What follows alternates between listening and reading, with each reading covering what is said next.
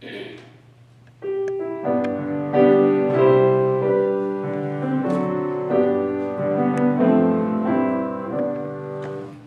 left the splendor of heaven,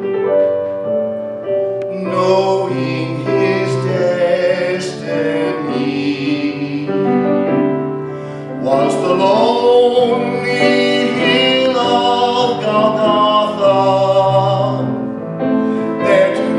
down his life for me. If that